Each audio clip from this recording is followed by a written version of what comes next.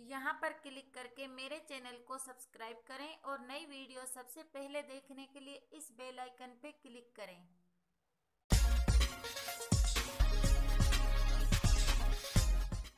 Hello friends आज मैं आपके साथ एक बहुत ही सुंदर सलवार मोहरी डिज़ाइन शेयर करूँगी। तो देखिए, मोहरी बनाने के लिए मैंने बुकरम ली है और इसको मैंने कपड़े के ऊपर प्रेस से चिपका लिया है। अगर आपकी चिपकने वाली बुकरम नहीं है तो आप इस पर सिलाई भी लगा सकते हैं। इसके बाद मैंने एक ही कपड़ा लिया है तो इसको तो मैं एक साइड में रख दूँगी। और इस बुकरम की जो चौड़ाई है, वो मैंने रखी है। तीन इंच, ये आप देख सकते हैं। और लंबाई आप अपनी मोहरी के हिसाब से ले सकते हैं। इसके बाद मैंने दोनों साइड में थोड़ा थोड़ा कपड़ा एक्स्ट्रा लिया है। इसकी मैं बाद में कटिंग करूँगी। अब हम इसको सीधी साइड से रखेंगे और इसका बीच सेंटर करेंगे। तो यहाँ पे ऐसे सीधी साइड में रखेंगे। और देखिए, हमको कपड़े का बीच सेंटर नहीं करना है, हमको बुकरम का बीच सेंटर करना है। तो हमारी बुकरम देखिए इतने पे है। तो यहाँ पे हम बीच सेंटर निकालेंगे तो यहाँ पे डेढ़ इंच पर निशान लगाएँगे।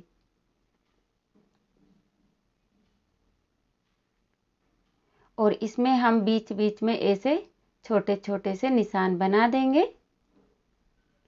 और देखिए, बीच सेंटर मैंने इसका निकाल लिया है। इसके बाद मैंने डिज़ाइन बनाने के लिए पट्टियाँ बनाई हैं। यह आप देख सकते हैं, इसकी जो चौड़ाई है वो मैंने पौना इंच रखी है। आप इसकी चौड़ाई एक इंच भी रख सकते हैं। और ये मैंने डबल कपड़े में बनाई है, यानी कि नीचे की साइड मैंने कपड़ा लिया है अपनी सलवार वाले कपड़े में से, और एक कपड़ा लिया है मैंने ग्रीन कलर का। तो इसकी लंबाई ये जो मैंने चार इंच रखी है, आप देख सकते हैं। इसके बाद देखिए, हम इनको ए ऐसे बीच सेंटर से मिलाते हुए रखेंगे। और जहाँ पर हमने निशान लगाया है, वहाँ पर हम सिलाई लगाएँगे। इस तरह से बिल्कुल बराबर रखते हुए बीच सेंटर में हम सिलाई लगा लेंगे।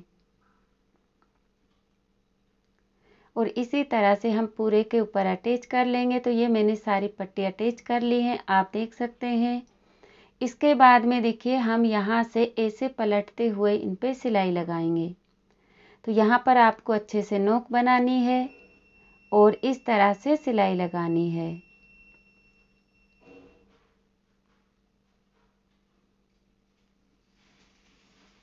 और इसी तरह से हम सारी पट्टियों को मोड़ते हुए इन पे सिलाई लगा लेंगे। आपको ध्यान रखना है, लूज नहीं रखनी है, एकदम टाइट खींच के आपको इसकी नोक बनानी है। तो इसी तरह से मैं सारी पट्टियाँ पलट के सिलाई लगा लूँगी। तो देखिए, एक साइड से मैंने सारी पट्टियाँ पलट के इन पे सिलाई लगा ली है। अब मैं इस साइड से भी ऐसे ही मोड़ते हुए इन पे सिलाई लगाऊँगी। ये देखिए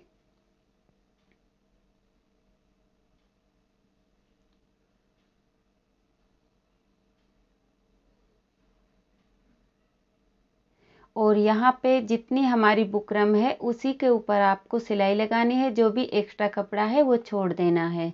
तो इसी तरह से सारी में ये साइड भी कंप्लीट कर लूँगी। तो देखिए, मैंने दोनों साइड से अपना डिजाइने जो कंप्लीट कर लिया है, आप देख सकते हैं। अब इसके बाद जो भी एक्स्ट्रा कपड़ा है, इसकी हम कटिंग कर लेंगे।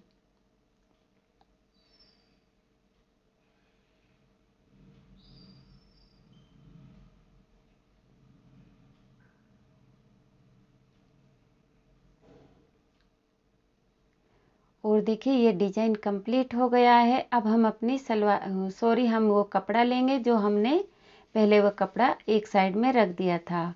तो यहाँ पर हम इस कपड़े को ऐसे रखेंगे। और ध्यान रखना है, जो ये सिलाई है, ये आपकी इस सिलाई के अंदर आ जानी चाहिए। और अब यहाँ से जो भी एक्स्ट्रा कपड़ा है, उसकी कटिंग करेंगे। हल्का सा मार्जिन रखते हुए हम इसकी ऐसे कटिंग करेंगे। और अब इसको ऐसे नीचे की तरफ़ मोड़ते हुए इस पर सिलाई लगाएँगे। अब देखिए, यहाँ पे आप चाहें तो ये पाइपिंग कोई दूसरे कलर के कपड़े से भी लगा सकते हैं। आप कोई दूसरा कपड़ा, दूसरे कलर का कपड़ा भी इस्तेमाल कर सकते हैं। मैंने सेम कलर का कपड़ा लिया है। अब यहाँ पे हम एक सिलाई बिल्कुल इसकी किनारे पे लगाएँगे। और इसके बाद हम यहाँ पर भी इनको ऐसे अटैच कर लेंगे, कपड़े को और बुकरम को, इस तरह से। अब यहाँ पे जो भी एक्स्ट्रा कपड़ा है, इसकी हम कटिंग करेंगे।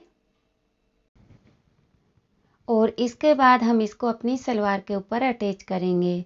तो यहाँ पे मैं आपको एक चीज़ समझाना चाहूँगी, जैसे आप ये डिज़ाइन बना रहे हैं तो आपको जितनी चौड़ाई की मोहरी बनानी है, उतनी आपको अपनी सलवार की लेंथ कम रखनी है। जैसे हमने यहाँ पर तीन इंच की मोहरी बनाई है तो तीन इंच की लेंथ हमको अपनी सलवार में से कम करनी होगी। क्योंकि ये मोहरी अटैच होने के बाद हमारी सलवार की लेंथ बढ़ जाएगी तो इसलिए आप कटिंग करते समय अपनी सलवार की लेंथ कम रखें। अब इसके बाद यहाँ पर हम सिलाई लगा लेंगे।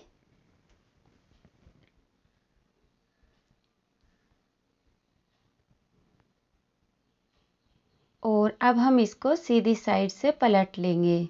तो इस तरह पलटते हुए हम यहाँ पर भी दो सिलाई लगाएँगे, जैसे हमने नीचे की साइड लगाई है।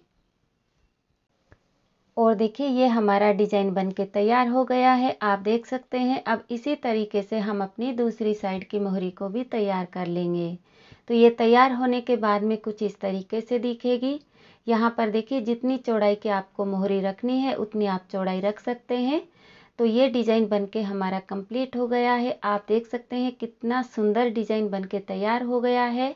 अगर आपको ये डिज़ाइन पसंद आया हो तो प्लीज़ इस वीडियो को लाइक करें और अपने फ्रेंड्स और फैमिली के साथ ज़रूर शेयर करें। आपने अभी तक मेरे चैनल को सब्सक्राइब नहीं किया है तो प्लीज़ मेरे चैनल को सब्सक्राइब करें, साथ ही बेल आइकन को प्रेस करें, उससे आपको मेरी हर लेटेस्ट वीडियो की नोटिफिकेशन मिलती रहेगी और आप मेरी वीडियो को सबसे पहले देख पाएँगे। तो फ्रेंड्स, आज की वीडियो में बस इतना ही। फिर मिलेंगे कोई नए डिज़ाइन के साथ। Thank you.